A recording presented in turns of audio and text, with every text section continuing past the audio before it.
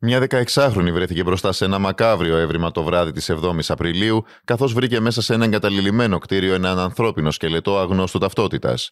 Το περιστατικό σημειώθηκε στην οδό Παπαναστασίου, στον Πειραιά. Η ανήλικη ενημέρωσε τηλεφωνικά το κέντρο της άμεσης δράσης χθες το βράδυ 14ου. Στο σημείο μετέβησαν κλιμάκιο της Διεύθυνσης Εγκληματολογικών Ερευνών και αστυνομική της Ασφάλειας, ενώ ενημερώθηκε ο ιατροδικαστής της Ιατροδικαστικής Υπηρεσίας Πειραιά. Ήδη έχει παραγγελθεί νεκροψία νεκροτομή.